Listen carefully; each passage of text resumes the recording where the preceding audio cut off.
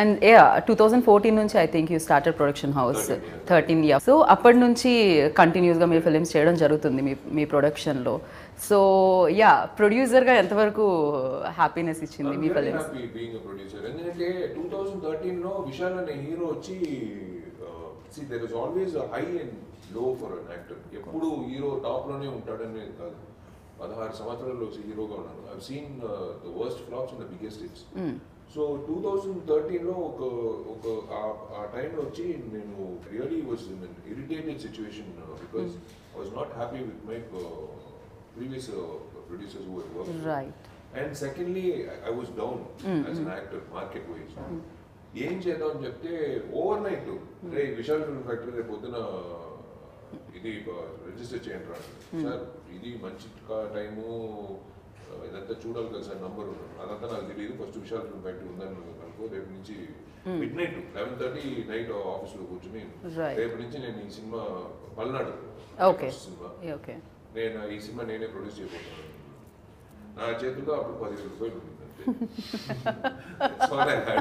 So నాకు తెలిసి production house name register చేయించడానికి కూడా ఇంకెక్కువ డబ్బులు I just wanted to make Vishal the producer, bring up Vishal the actor again to ఒక స్థా- స్థా- స్థాయికి Right. తీసుకురావాలి. Right. That happened. That's Right. good. Uh, ఆ తర్వాత పూజ ఆ తర్వాత uh, ఇక్కడ ఇక్కడ వచ్చి ఇంద్రుడు ఆ తర్వాత పూజ ఆ తర్వాత so everything went it it brought me back as an actor so ఆ బేస్ ఎప్పుడు ఉండాలి.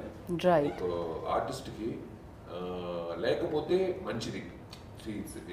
ప్రొడక్షన్ ఇస్ పెద్ద తలనొప్పి నాకు అలవాటు అయిపోయింది నాకు I I started learning time management ఎప్పుడు నేను మేకప్ వేసుకుంటాను మేకప్ తీసే వరకు విశాల్.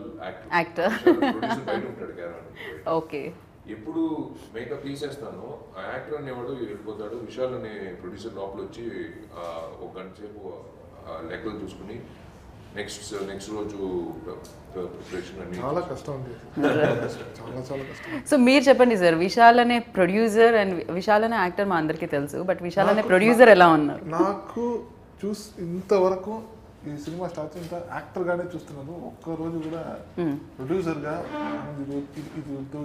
ప్రొడ్యూసర్గా మీకు కావాల్సింది ఇచ్చారా? ప్రొడక్షన్ హౌస్ యూనో విఎఫ్ఎఫ్ ఆయనే ప్రొడ్యూసర్ I know that. అది నాకే తెలియకుండా ఆ ప్రెషర్ మామూలుగా ఒక డైరెక్టర్కి ఒక ప్రొడక్షన్ సైడ్ నుంచి ఒక ప్రెషర్ ఉంటుంది. ఇది ఇది వద్దు అది అలాంటి ఏ ప్రెషర్ లేకుండా అంత ఫ్రీడమ్ ఇచ్చి ఈ సినిమా ఇంత గొప్పగా వచ్చిందంటే ఈ ఫ్రీడమ్ సో వల్ల స్క్రిప్ట్కి ఎక్కడ కాంప్రమైజ్ కాకుండా నాకు అలాంటి ఒక మంచి టెక్నీషియన్ టీం ఇచ్చారు. అలాంటి ఎవరు ఎవరిని పెడితే ఏది బాగా వస్తుంది అని తెలిసి. ఒక్కొక్క విషయంలోనూ చాలా డిస్కస్ చేసి చేసాం నాకు ఇంతవరకు యాక్టర్ గానే కనిపిస్తున్నారు. కానీ నాకు తెలియకుండా ప్రొడక్షన్లో మేనేజ్ చేస్తున్నారు.